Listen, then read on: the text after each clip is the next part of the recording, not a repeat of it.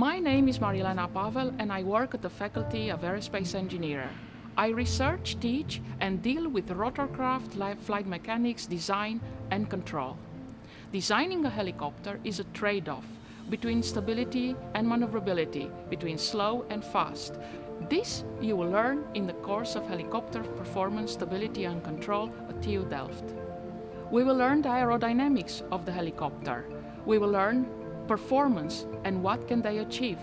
What is the dynamics of the helicopter? And here we will concentrate mostly onto the flapping motion.